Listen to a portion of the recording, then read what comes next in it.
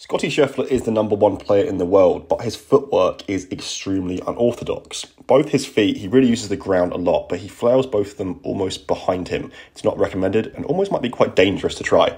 So I'm going to try it out. This is not something that I'd recommend trying at all. We've had Jon Rahm saying, do not try this, but I thought I'd give it a go and just see if it could help me hit the ball a little bit straighter. First impressions, no, not even slightly. It was so difficult to even just do the movement itself, and it felt like I was going to actually break my ACL or tear it to pieces. I had on this for about half an hour. I really tried it, and that was the best swing.